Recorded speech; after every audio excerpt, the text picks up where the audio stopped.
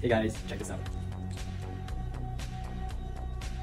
I read 94 books in a single year, and here's why it was a terrible idea. In 2021, I was feeling inspired.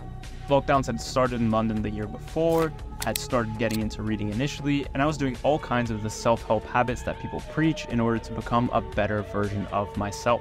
When the new year rolled around, I decided that one book a week wouldn't be enough to get me to where I wanted to go.